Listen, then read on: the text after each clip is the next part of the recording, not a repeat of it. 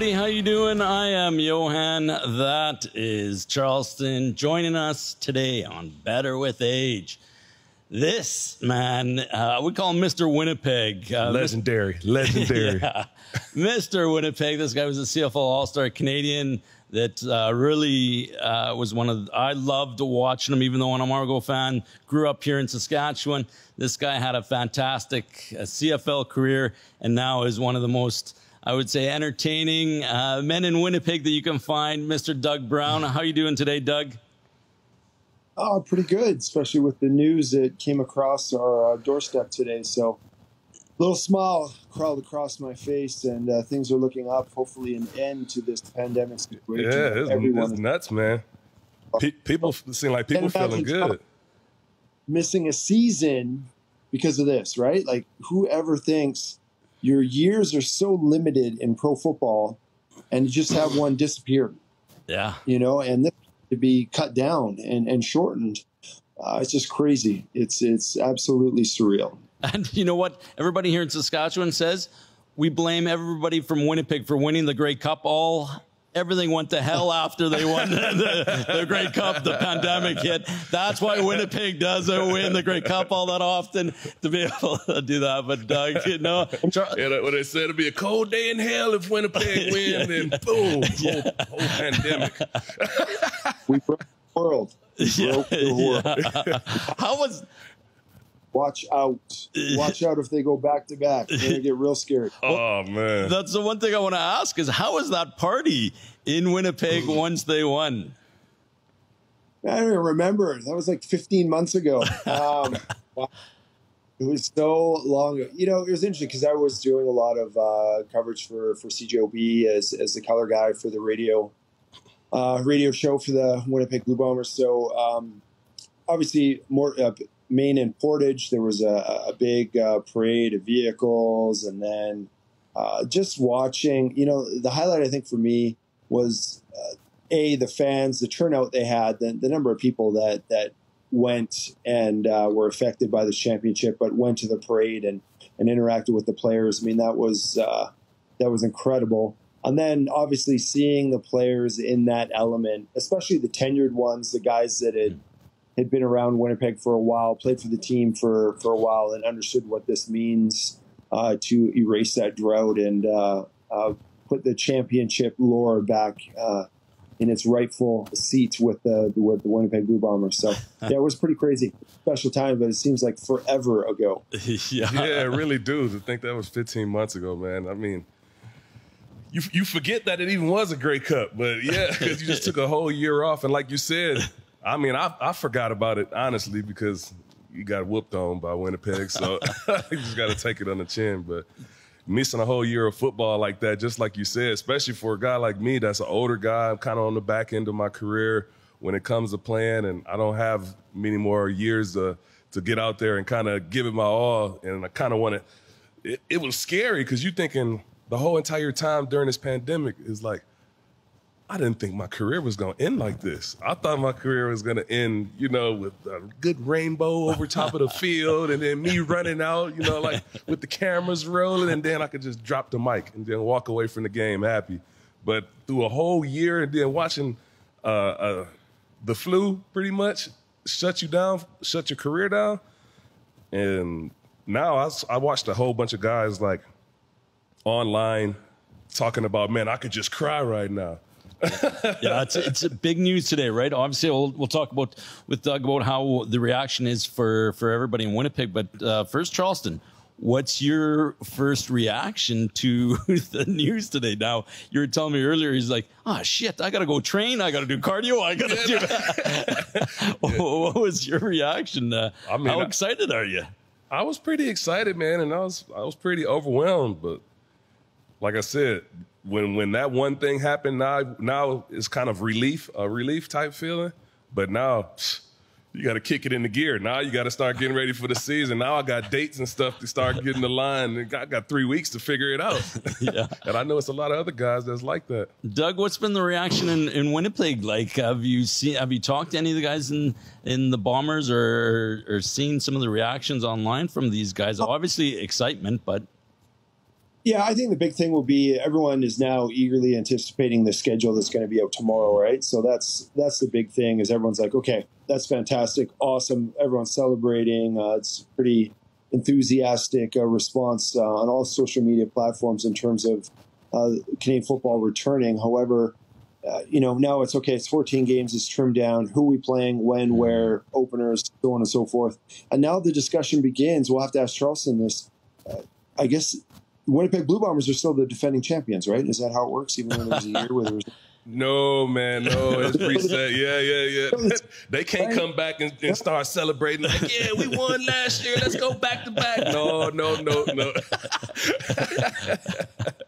you gotta you gotta hang the things on the rafter. I mean, it's an outdoor stadium, so I don't know about the rafters, but you gotta you gotta hang banners and you gotta have your. It's the championship yeah. afterglow the Bombers never got last time, and honestly, I think all players, Charleston included, should be able to submit in writing to the CFL what your stat sheet would have been last year. You should be able to tell this. oh hey, man, you already. I'm gonna say thirty. Yeah, I had twelve sacks. You know, forty-seven tackles.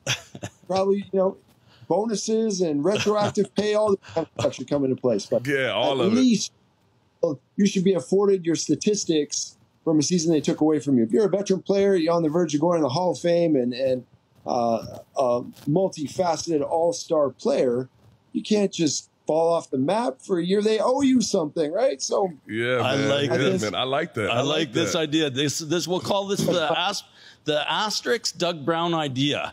That we're going to see if we can have this and be able to come up with the supposed uh, proposed um, statistics for the COVID year, the Doug Brown theory here yeah, idea. Phantom, yeah. phantom stats. yeah. So I'll have a I'll have a roundtable of other veteran players, and we'll take applications from Charleston, and we'll be like, ah, no, you wouldn't have had 28 sacks, but we'll give you 16. oh. We'll off on it, we'll sign off on it, and then then it adds to your yeah. I like that idea. I like, I like, I like that. Where your, I like where your thought process is in this whole situation, man. Doug, tell me about what you thought about the whole process. Now we're at the end. We can see the light with tomorrow being you know the announcement of the schedule. But what were your thoughts? Um, you know, six months ago. What were your thoughts nine months ago when everything was going on? Were you impressed by the CFL and how things were being rolled out? Were you disappointed? What did you think about how things were handled by the commissioner and the CFL? Well, I'll tell you what I didn't like. I, I absolutely hated the whole XFL talk and and uh, interlude. I was like, where did this come? All of a sudden, we're worried about the CFL getting back on track and resuming and playing again. And then I'm hearing, oh my God, they need the XFL to prop them up. And I was like, I didn't know there were problems to this extent until all of a sudden The Rock told me so and uh, you know, I really was not a big fan of. I honestly think this season, you know, you know those uh, that saying, "You don't know what you got till it's gone," kind mm-hmm. of thing, and yep. I, I, think. Uh, I think it's going to be a massive season for the Canadian Football League, just in a sense that it got taken away from everybody. Uh, so not only do the players appreciate it more and the coaches, but the fans. Fans realize what life is like without the Canadian of Canadian Football League uh, going on in this uh, in this great country. And I think obviously there's going to be limitations and such initially, but hopefully by the later point of the season this year, I think you are going to see an appreciation for this league and what it does. And, and now that people know how quickly it can be taken away and how precarious the, the Canadian Football League financial situation is, uh, I just think uh, hopefully there's such a response in 2021 that it just erases any talk of us requiring a merger in order to survive going forward. And that's one of the things I think that Charleston, you can tell us. I mean, you know, Doug brings up that great point. Where the fuck did we come up with this notion that the CFL wasn't good enough, that we needed help from this? But I understand the financial problems that the league has always faced. And, you know, there's a gate revenue um, generating industry, and the, the league needs the fans in the stands. But we've been trying to be able to I guess the CFL, I can't say we, you guys have been trying to be able to find ways. And now I think with COVID, hopefully the league is going to start, or the CFLPA. I know you guys. Are you guys finding Charleston other ways to come up with revenue, or is there the gambling um, bit that might come into it? How has COVID changed um, anything in that regard?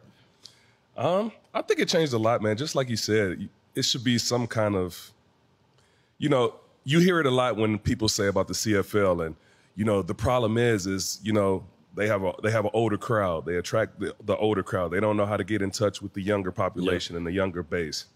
But I think just like Doug just said, um, with what just happened right now, this is probably something that will get to that younger crowd now, where now we can start to build build a bigger fan base with, you know, a different type of crowd that we normally don't get in the CFL.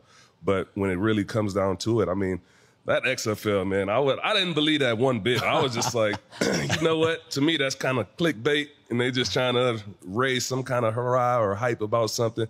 But I mean, if it happens and if it comes down to that, and, it, and it's a it's a smart decision or business plan, I mean, I don't I don't mind it. I'm not against it, but at the same time, it's one of those things where it's like, how about we focus on what we need to do internally first before you start reaching out to other you know leagues and you know that failed multiple times already and bringing a, a bad business partner into a business that's bad Yeah. you're not you're not doing nothing good for yourself right? You're supposed to attach yourself to something that's bigger or better than you to make to bring you up right? But that's kind of how i look at it when it comes down to that xfl stuff man it's strange Yeah, and, and Doug, what was your thoughts with- as that? You're a Canadian. You grew up, you know, BC boy. You you had that uh, goal. You played Simon Fraser University. You went down to the NFL. You came back up, right? You're you're. Uh, what were your thoughts on the XFL's proposal? While all this talk about possibly maybe canceling the Canadian ratio or, you know, all these different things that all these different ideas that people are throwing out there. Oh, we don't want the three downs anymore. We want it to be four downs. And you'd, see the US people come up with these different ideas. They want the XFL rules. And then the, the CFL's been around for 100 years. How could you take that away? Or the smaller fields are proposing. What were your thoughts when you were coming up or reading this on social media and, and reading all this stuff about the merger? Yeah, no, it really pissed me off. Like I couldn't believe they just threw out the the history and the tenure and the legacy of the game, and uh, we were being dictated to by the terms of the the XFL. Right? I was like, I was like, Vince McMahon is known for fake wrestling, right? Pro wrestling, and uh, he didn't work out as an owner. And The Rock is the same guy, if you ask me. I mean, you telling me The Rock has more money than Vince McMahon, or like, uh, granted, he's partnered with a different group, but it's the same. It's a different take, but it's the same ingredients on, on that league that has never worked out. And I just hated the positioning of it. I, I hated hearing, you know, that the XFL was going to be dictating terms because they had the the financial staking and backing and and I was just like this Canadian Football League has been around for so long. It's been around when it was bigger than the National Football League, right? And it's just so storied. And the Grey Cup is it's the most accessible professional sporting league in the world. And to just hear all of a sudden, because a season was missed, that you know the Canadian Football League was on the brink of nothingness if they did not, you know, cede to the demands of the XFL led by a guy that didn't even make the practice squad of the Calgary Stampeders. I was just like, and I mean, I love The Rock as an actor in in Hollywood, but he doesn't have he has as much experience as I do as in terms of running a a, a sporting league. So I, I didn't I didn't get it at all, man. I hated going down that lane and and just even having them as as equal partners. I understand that they want to explore and and go through all these different avenues and see, hey, can we make the game better? But at what cost? That's all I want to know. If you're going to take away, if you're going to strip this game bare uh, to to make it more uh, uh, amenable to uh, American fans and and make them feel better about it, I, I don't know. The, the American fans, as far as I'm concerned, are interested in the National Football League, and that's about it. So I think trying to squeeze in another hybrid league in America, you know, I don't know. The CFL works because of what it does in Canada with the makeup and the ingredients that it has going on up here. I, and I, That's why I said I, I couldn't understand it. It's just a strange move. You, you don't know whether it was a desperation attempt or whether it was just you know something to just kind of stir the pot up a little bit. But whether it was a good business move or a desperation attempt, who knows? Well, that's the one thing that's frustrating for me as a fan, right? Like I've been trying to understand where the commissioner's been going. First off, it was this global plan. Hey, we're going to focus on Germany. We're going to focus. Watch Doug's face. Watch a global plan, right? and then you know, and then all of a sudden it's like a squirrel runs across, and he's like, "Oh, hey, XFL. Okay, here we go to this." And then, "Oh, hey, let's do this draft in Europe." Hey, oh, hey, it's just. I was trying to figure out why is he trying to. It, you know, focus on all these different shiny objects to be able to do that, and and and then when it came to, you know, the proposal for the Canadian government, um, you know, it, it, didn't seem like anybody was organized, and it was just another shiny thing that he was trying to throw out there for the public. And then to do that, and we've talked about this on previous shows, um, Doug, is the passion that a lot of you former players have. John Bowman was pissed off that you know that um, how the league was taking it. No communication during this COVID, right, Charleston? I mean, to do that. Will Johnson last week was pissed off at how there wasn't more involvement from you know the CFL office to the you know PA and to the fans and let everybody know. So it, as a fan, it's been frustrating for myself is to be able to hear all these different directions, right? But you know, you could see it. Oh, Doug's expression there with you know the commissioner. What was your thoughts on how he has handled his job and? Will we get Doug Brown running for commissioner in the next uh, CFL? yeah. We've got guys like Will Johnson said last week. Uh, you know, he he would love to be able to do something. You know, like that. He's got backings with guys with um, James West. He said he still talks to you know and out there, and you can see it in your guys' passion, Doug.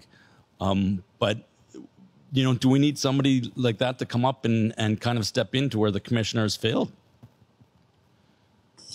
Yeah, I mean, I totally agree with a lot of what you said. I mean, there were times I'm just like, he's throwing stuff against the wall and seeing what sticks, Yeah. you know, and it just doesn't.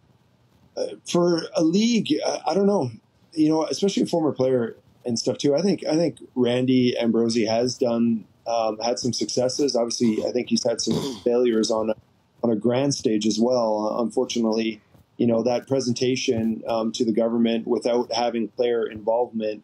It's a lot of things that uh, you know contradict each other in terms of him being a former player and and things we've heard him say about involving the players, and then there's Exhibit A of the players not being involved. So I, I think a lot of alumni, um, you know, and, and tenured veteran players like like Charleston, they just uh, we understand how important the league is and and how great a game it is and how special and unique it is, and you just don't you just want people to stop messing it up. Hmm. Like just get out of the way. I mean, you, you don't necessarily want to use the the a cliche that if it's not broken, why you're trying to fix it. We understand there are things about the Canadian Football League that need to be fixed, but uh, not to this extent and not to this scale uh, that they've been uh, attempting to do. Every single franchise in, the Canadian Football League, at some point or another, largely probably outside of Toronto, has been very successful at some point. Every single franchise, every single team in the Canadian Football League, at some point or another, was run the right way, was able to strike a chord and resonate with its fan base uh, to the point where they were very successful. So you know it can be done. It's just having them all happen at the same time, right? Having all this, all these ownership groups uh, that are competent operating at the same time. And like I say, we've seen it happen. It's hit or miss, and, and there's always just, you know, it seems like 70 to 80 percent of the teams are are very consistent or do very well, but but unfortunately there are other teams that are that are problematic. And uh, you just think it's always an overreaction, though, when you hear a lot of the the sequences and and storylines we've seen in terms of what they're doing. It's almost like canceling the 2020 season gave them too much time to come up with new ideas for what to do. You know what I'm saying? I'm just like, whoa, you know what happened to everything. So let's uh, let's go baby steps. I, I liked it better when we were talking about having a team in Atlantic Canada, Yeah. right? Like it was just I'm like, where did that go? Well, that's All of a sudden, Yeah, and then sorry to interrupt. Yeah, so that that was the driving push, right? Atlantic schooners were this close, I thought, to be able to come on. They You were were, supposed they were supposed to jump into the league in 2022. or er, you know, it was close, and that was Yeah. the next. That was the tenth team, right? That was coming in, and we were close. I was pretty excited about that stadium. You were going to do a game which the Riders, or yeah, the Riders going to play Toronto in in Halifax, I think. yeah, Halifax, Moncton. Yeah. Yeah. And, and so, like, I mean, where did that go? That's a great point, Doug. And to be able to see that too, all of a sudden now we have this. So it's going to be an interesting, I guess, next few weeks to be able to find out where we're going with that. And, and obviously Yeah, the They schedule. rolled out a lot of information on us in one day. I'll tell you that much. your head spinning be able to do that. Head well, we're just going to, uh, um, Doug, we're going to take a little bit of a commercial break, but once we get back, we'd love to be able to get into a few dying questions like, what was it like to play in Winnipeg for your whole career? Because the Rider fans here are going to be going, why? Why would you stay in Winnipeg? Why? What was it like? You know the rivalry with the Riders and the Bombers and all that. But you know we've had my friend Graham Bell played a few seasons in in Winnipeg, loved it, loved everything about Winnipeg. You got to tell us at least three or four great stories about Winnipeg and why you would stay there and why you stay stuck around to be able to do that. But we'll get into a little bit more about your CFL career. Who are some of the best athletes that you faced and the toughest quarterbacks? You don't maybe? gotta, you don't gotta say me. yeah, no, I, don't you didn't play me. against him. I didn't do that. But someone, I want to know who's some of the best athletes that he came across uh, and and uh, like that. But we'll get into that right after this. Hi, my name is Rob Peterson. I'm the broker owner of Realty One in Regina. Real estate and life is about great people, and that's why I'm associated with Charleston Hughes and Johann Lozinski and IKS to sponsor the Better with Age podcast. Realty One was founded in Regina 11 years ago. It's an independent brokerage, it's local, and it's full of great people helping great local Regina people buy and sell properties. It's entrepreneurial based, which means you have non narcissistic agents that have your best interest in mind, not their own. In these coronavirus times, real estate market right now in Regina and Saskatchewan is thriving because people are thinking more local. They're not thinking about traveling because we can't, and that's driving our market. When you hire a realtor, no matter who it is, no matter what company, please interview them. Please make sure they're a good personal fit for you because that's what this is all about. It's good people connecting themselves with someone that they know has their best interest in mind. And that's what the Realty One family does. And that's what a lot of agents in Regina do. But make sure you take your time and find the best fit for you and your family.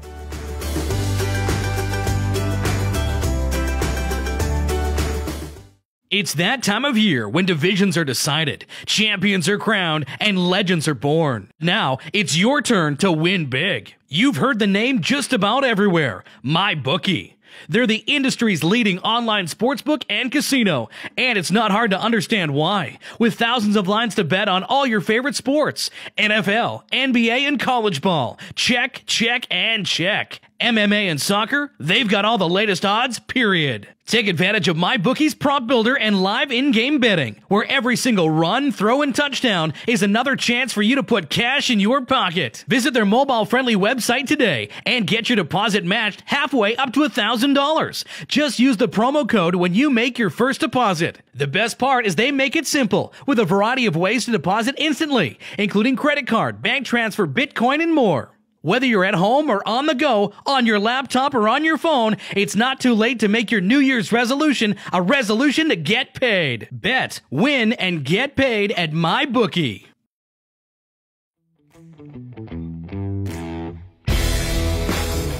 All right, and we're back here with Mr. Winnipeg, Mr. Doug Brown. Doug, we were chatting before the break about um, getting back to normal, right? And we want to get into your back to the season. back to a Back. season. And, back and to speaking of that, that, jersey in the background, that, uh, we got to take that down. We got to change that color. you're uh, you're one back there. Okay, yeah, we got to see. No if we- sad stuff no more. well, good. We got Mr. Winnipeg here to be able to talk about how that rivalry. I want to know, Doug. Um, you're a BC boy. You tell us a little bit about. I, I want to know first about how it was like as a Canadian going down and playing in the NFL. And you started, you got drafted by the Bills, uh, and then you went to Washington. correct, for two seasons. Yeah. How was that like? Tell us a little bit about those days and your days in the NFL, and what was that like? I mean, wow, that was a long time ago. So in 1997, I was actually drafted by uh, Calgary, the Stampeders, mm-hmm. in the CFL, but I got a free agent opportunity with Buffalo. Uh, that was, as I said, in 97. I spent the entire year in 1997 on the practice squad uh, with Buffalo. And then if you finish the season on the practice squad, you become a, a free agent. And uh, Buffalo had, had an opportunity to go back with them, but I I got a little more money uh, signing bonuses can be very uh, uh, alluring when you, especially when you're college. So I had a little more money up front to sign with Washington. And then, uh, yeah, I made the team in, in 98 and uh, I was able to start nine games in 1998. And then I made the roster again in 1999 and played a bunch more games. And then 2000, I actually broke my foot and I missed the entire season. And then I went back uh, at the start of 2001, I went back to Washington. Uh, I went to some of their uh, uh mini camp. They had a coaching change. They went from Norv Turner to Marty Schottenheimer. And uh, but they were so worried about my foot, they made me sign a waiver and everything. So I didn't think it was going to work out there. And and then that's when I signed my deal and I had my trade from from Calgary to Winnipeg. And uh, it was funny. I actually got a call back to go to Washington training camp um, but I was already in week two or three of the the CFL season. Had I known that uh, so many guys just were able to opt out of their CFL contracts so oh, yeah. sometimes with the NFL, that seemed to be a more uh, recent development. But no, I have zero regrets in terms of. Uh, I think I was very fortunate, very uh, very lucky to play uh, all 11 of my years in Canadian Football League in Winnipeg. Um, it took me a, a, while to come around, but uh, in terms of wanting to stay and live here. But one of the things that didn't take any time was recognizing that it was an environment where people really cared about their football. Uh, super passionate, educated, uh, loyal fan base uh, for the, Winnipeg Blue Bombers, and and just a crew of uh, just an environment really I think that uh, made it very hard, and they never gave me a reason to want to go anywhere else. Right, playing football here, uh, obviously the Winnipeg Jets weren't in town at, at, that point, and I wasn't playing in the the new unbelievable stadium that they have right now. So, but it was just it was just the best Canadian football environment that I had been exposed to, and uh, my experience here was such uh, first class and, and top shelf. It just made it hard to uh, to think or or uh, consider going elsewhere. Yeah. He sound like a Blue Bomber spokesperson. You see how he talking about the Blue Bomber? what? You don't believe him or what, Charleston? What? oh man, no, that's cool, man. I bet it. I bet it was absolutely weird coming from because you're a tall dude. You're 6'8", about 300, 320 when you played. So about 6'8", 300 pounds. Going from NFL defensive line, 6'8", most of the guys are around you are probably about six four, six five, six six. So guys are your height. To the CFL, where you, you got a lot of short guys. you know, I'm only six foot, so there's a big height difference when you're on the field coming from NFL to CFL. Did that? Did you have to change your game up coming from uh, the NFL because you're dealing with bigger, bigger offensive linemen, offensive linemen that are more like six ten, you know, six nine 340, 350, 360 coming to the CFL. Now, now you're dealing with short, stubby little arm offensive lineman. Like, like how did you have to modify your, your game and your pass rush, or what were you asked to do? Uh, you know, it's funny. I just uh, uh, just to preface this, uh, there was a time when I was in Winnipeg, and our general manager Brendan Taman was uh, looking uh, for another defensive tackle to play next to me and they were bringing up the name Jerome Haywood. Yeah. And I said, I didn't know anything about Jerome at the time. And I'm like, please, Brendan, I don't want to be, I don't want the shortest defensive tackle and the tallest defensive tackle to be on the same team. That's ridiculous. And uh, turns out, uh, you know, Jerome uh, Haywood was actually one of my favorite guys to play with because you bring we bring we brought such different vastly different skill sets to the to the football field that we we played off each other and uh, it was a fantastic pairing but at the time I was just like I couldn't get past the optics of how it would look of me and Jerome staying on the field waiting for. I'm like, the offensive line is going to laugh at us, Brendan. They're ball. They're going to be laughing at us because of the height difference, right? But but Charleston brings up a, a good point. Um, I think the hardest adjustment was definitely the yard off the ball, right? When you've because uh, I played at Simon Fraser University in in BC, which was the only school that played American rules. Yep. So I never played a lick of Canadian football until 2001, until I got to Winnipeg. And uh, when you're a tall guy, you know you like being right over the ball because you know your first step you're mm. you're down in your stance already, and all of a sudden I got a yard before I'm even making contact with anybody, and I'm raising up. So it wasn't so much me worrying about the offensive line in, in, in the CFL. I had to adjust my game. I really had to work on, you know, enhancing my flexibility and, and staying low, trying to get under these guys. I mean, the first guy I ever played against, I think, was Chad Folk for, for Toronto. And he's, man, if he's 5'11, yeah. a, a billion dollars in the bank. So yeah. it was, uh, yeah, it was certainly an adjustment, but I would say the biggest thing was that yard. It, it can it really serves you your get off, especially all like I only played one year of uh, high school football, and even that in British Columbia it was American. So all of my pass rush moves, everything predicated, my run defense techniques, everything was predicated on being on top of that football as close as possible. The guy snapping it or in the three technique, and have that change, and all of a sudden I got to take an extra step before I'm clubbing anybody or I'm, I'm just swinging it air, right? So Charleston understands the the the mechanical uh, uh, just how how complex and how how finite it is in terms of adjusting your technique.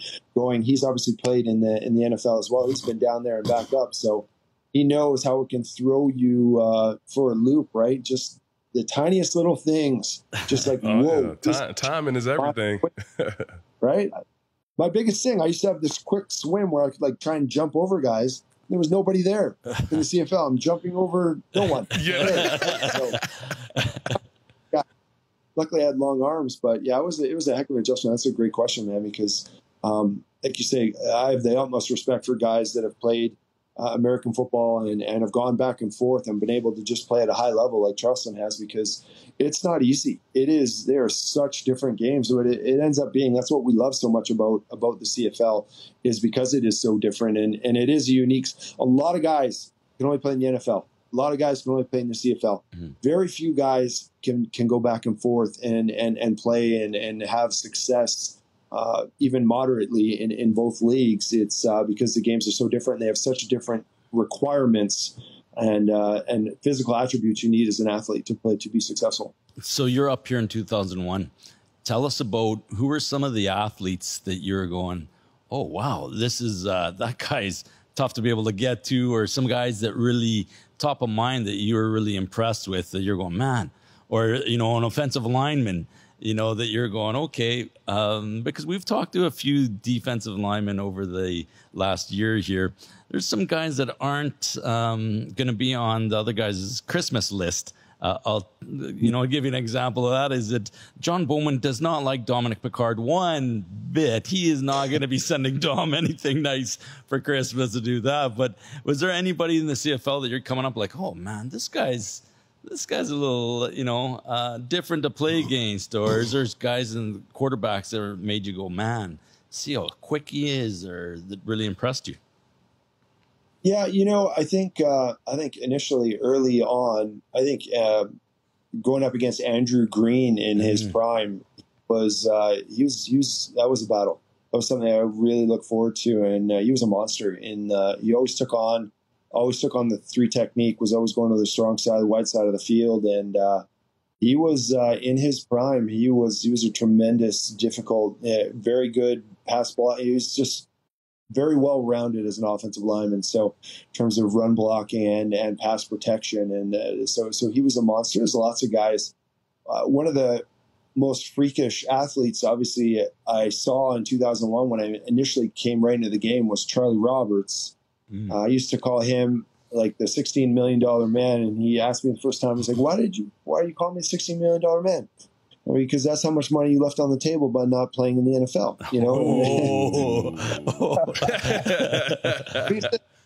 oh, so unbelievably gifted and blessed. Uh, so much, so much talent, just not the biggest uh, weight room guy. We'll say it was all God given for for Charlie Roberts. So, uh, you know how that's how you like someone when you're in the locker room, right, Charlie? Yeah, Don't yeah. make fun of someone. The more you rip on them, that's that's shows your fondness for them. Oh, player, yeah. right?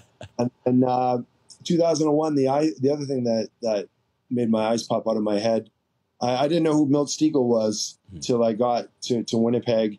In fact, the only thing I knew about Winnipeg was I think like they were, the internet was just coming around in in, in early late 90s and in the early 2000s, and so I'm like Google searching the Winnipeg Blue Bombers, and I'd never, even though I'd grown up in BC, I'd never been to Manitoba or, or been to Winnipeg before.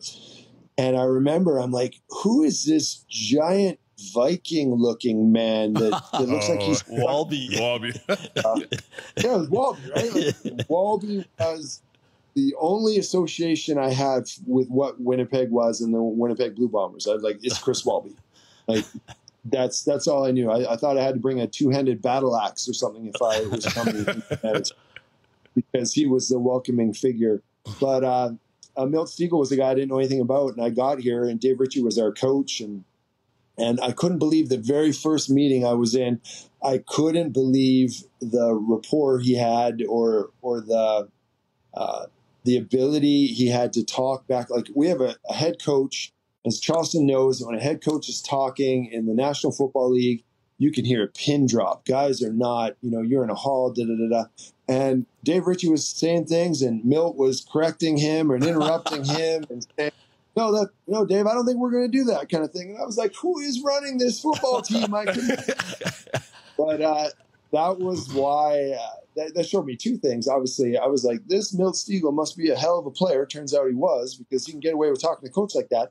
But uh, Dave Ritchie had such a great relationship with his coaches, uh, with his players, that uh, you know Milt wasn't. Uh, uh, you know, he was able to have that that great casual friendship association. Even though Dave would take us to task when things weren't going well, it was just a unique relationship I'd never seen uh, between a, a coach and a player in a professional setting before. It was so relaxed and they were so um, uh, informal with each other. It was just I was like, this is a this is a cool, special vibe and, and a place to be playing football right now. So you, oh wow, that's crazy. you Yeah. get that thought process right there. Doug is going, okay, you're new to Winnipeg. You get in, you get settled in with the guys. What was your thought process then for the first time you came to Regina and you had a Labor Day game here then? Because that's got to be a story right there then. right. Yeah, I mean, it, it doesn't start off well because we we were taking a bus, and I was like, "Never taken a bus to a pro football game before. What are you doing taking a bus?" McDonald's and Brandon. I was like, I don't know. I was like, this is weird, and, and this is. Uh, we used to at that point. We went through the phase of we were staying in Regina, right, right close to the field, and then we went away. We went to that spa. Was it in Moose Jaw. Yeah. Yeah. Yeah. ball, and then we ended up coming back. And but um, initially, I don't know, going to Saskatchewan, you did hear, you knew it was going to be a different game, right? Because you you knew you don't have to be in Winnipeg long to understand the their prairie rivalry, and uh, it was just. All, as soon as you pull into town in your buses, you know, I was like, okay, this is, this, it gets your attention in a hurry. You're like, this is going to be very different from any other game I've been, I've played so far in 2001. And, uh, it was it was unique. It was it was a college atmosphere, right? It was chaos. It was there were people that shouldn't have been in our hotel that were in our hotel. there was horns. There was people calling your room at all times. It really made us angry. We actually did very well. My first few years going uh, to Labor Day, we were so angry because of all the the way their fans were interrupting us and and calling us and in our like they had rooms right next to ours and stuff in the hotel and it was uh yeah it was it was like you'd get a phone call in your room like three o'clock in the morning the night before the game and i'm just like you know, it was uh it was crazy we had a really, but i was like this is this is something else this is a circus down here this is a carnival but that's you know the thing obviously uh winnipeg and, and saskatchewan very two distinct places but the passion and the enthusiasm for Canadian football and and you know how how people love the game. It's a, that's exactly the same, right? So it was great to see you go in there and you play another team where you're so similar, you hate each other, right? That's how it is. Yeah, yeah, exactly. We're Saskatchewan, we're Manitoba. Neither one of us wants to admit that we're got a lot of things in common, and so we're so trying so hard to be different. We're going to hate each other because of that, right? And uh, it made for great games, though. Like, and that's all you want. You just want to play in places where people care. People care about their football team in Saskatchewan, like nobody's business. And obviously, they do the same in Manitoba as well. So it doesn't matter whether the, the fans there loved you, hated you. It just it was awesome because of the atmosphere and the environment, and you can feed mm. off of it. And it, I, I want, so basically, deep inside, deep inside somewhere, you're telling me right now that you really wanted to play for Sad somewhere, somewhere in there. Stirring the pot, stirring the pot. I, it, I could yeah. just, I could just sense it. I could, uh, I could just feel it. Like, yeah, I kind of want to be. I want to be a Rough Rider.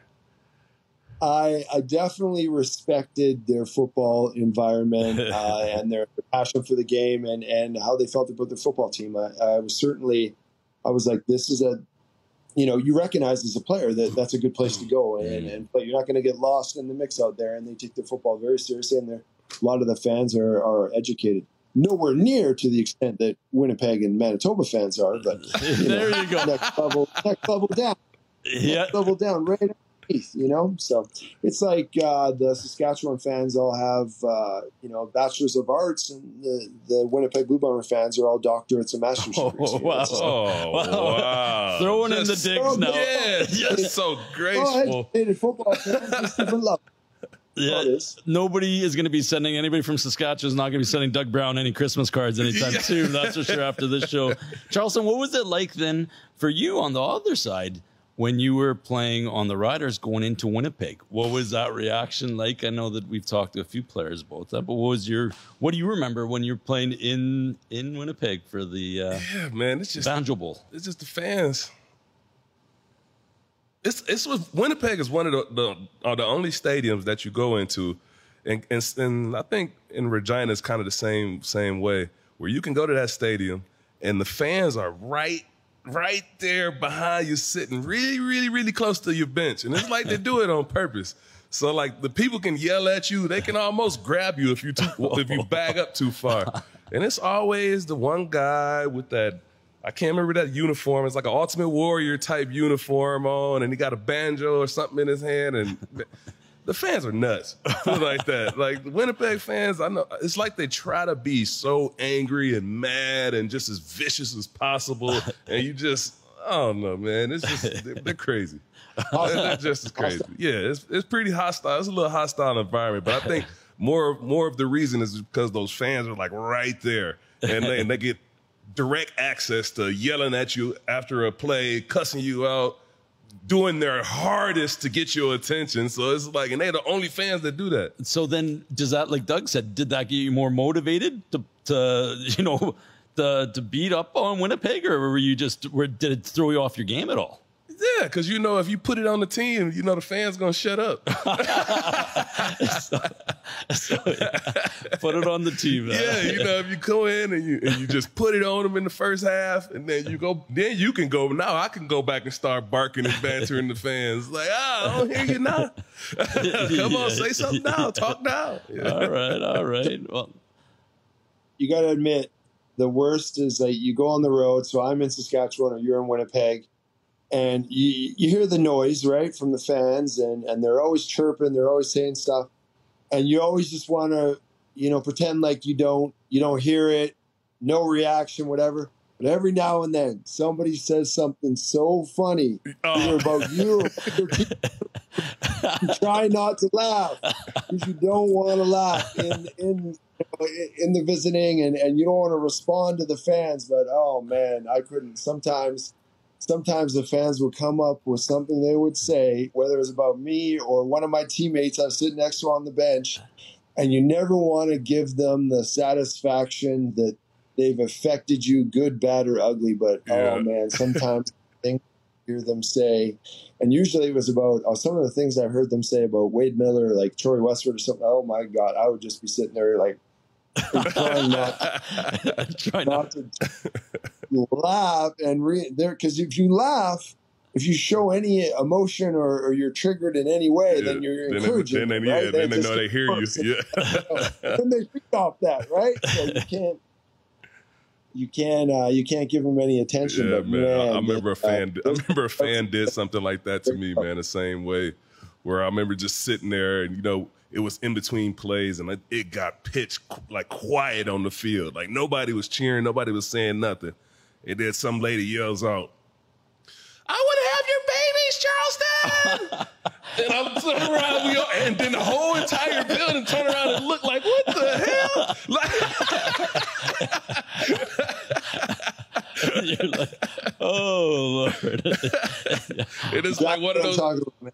Oh man, craziest, craziest fans. Yeah, but- yeah. You hear something like that on the field, and then it just breaks all silence, and everybody just busts out laughing and Laughing, just turn around and look. That's awesome. That's well, that's the CFL for you. I mean, you can literally. The one thing I love about the CFL is that you really feel like Doug said too, that college mm. atmosphere. You feel like you get to know these things. And one of the things we were talking about before that we'll quickly mention here was that Doug, you do uh, so much work in the community for these different charities, and I think that's one of the best things about the CFL is that we get to really be involved with these players and and uh, guys like Charleston. What I've known about Charleston is that you know he cares so much about the community and the the different um, charities like the YWCA that he's associated with, or uh, all the different indigenous groups that Charleston's out going to these schools and spending so much of his free time, you know, that he's not putting out.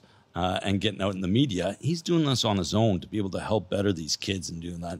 And you were a big part of that too in Winnipeg, and can continue to do that.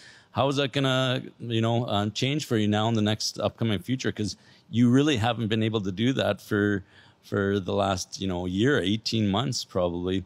Um, uh, do you have anything upcoming in the future, and and anything that you're going to be doing, hopefully now and in the next uh, little bit? Yeah, for sure. You know, one of those players that he got that perspective. He understands that the community supports him and what he does for a living, and so it is. It, it's your best interest as a player. You got to give back to people that uh, you know uh, support you and and uh, provide you with the livelihood of being a professional athlete. The the, la- the least you can do as, as an athlete is uh, is is give back. So, uh, just uh, things I think that really were affected uh, in in a significant way from the pandemic. I work with one group called uh, Motion Ball, motionball.ca, and it's a it's a charity event that is run uh, in many cities across Canada, and they raise money for the Special Olympics uh, Foundation of Canada. And that was uh, there's a day of sport where you get uh, paired up with uh, a Special Olympic athlete, and you know in Winnipeg uh, they were raising over hundred thousand dollars in one day of of this activity that we do. And I bring a bunch of uh, old retired players out, and we pair up with a Special Olympic athlete, and we just have a great time uh, through all these competitions. So I really feel like uh, you know motionball.ca and those Special Olympic athletes. It wasn't just professional athletes like Charleston and and the rest of guys in the CFL that didn't get to compete and participate in sport uh, last year because of cancellations and the pandemic. It was uh, special athletes like this that also that's what they live for. That's what uh, that's what these kids look forward to on an annual basis is what they're able to do. They understand you know high level sport and you know how that impacts you and uh, really changes your life. So um, any uh, any attention anyone can pay to you know go on that website go go to motionball.ca see how you can make a donation and help out these kids for special olympics because those are those are some athletes too that had all their programming and everything taken away from them. And uh, hopefully with the way the vaccination rates are going and and things are opening up that uh, hopefully these kids uh, can get their programming back in a hurry because uh, you want to talk about uh, a devastating effect on a very special group of of, of kids that are uh, supreme athletes that, that deserve to uh, you know play sport and, and and show their talents on on a field as well. Yeah, that's awesome. That's a great cause, and we'll definitely be looking into that. And Doug, we wanted to say um, thank you, thank you for coming on the show and and talking about this. I feel like you're a guy that we could go for a few beers with, and there'd be about two hours worth of stories that you could sit there and tell us about the boys and the time. And it feels like you guys had a good culture in Winnipeg and a good group of guys, and the stories that, like I said, the Charlie Roberts stories. I've I've heard a few of them from my friend Graham Bell and and uh, Stegall, and and it seemed like you guys just were a good a good fit there, and you got probably a ton of stories. Hey, had I known more about this show, it would have been I would have had a beer and I would have been drinking it while there you go. guys have me back.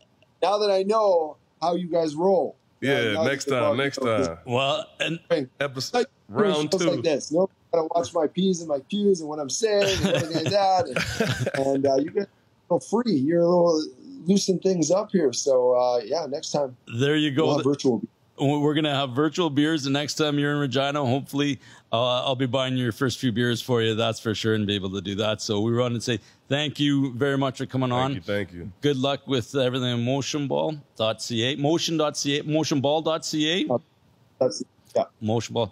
Good luck with everything in Winnipeg. Like I said, you're a Mr. Winnipeg. You represent Winnipeg with lots of pride and passion. And not only that, the CFL, you can tell that you've, um, you know, you had a great career there, but um, you're very passionate about the CFL, and, and that's great. That's uh, awesome. Even as an Argo fan, I respect that and I salute you. So thank you very much for that.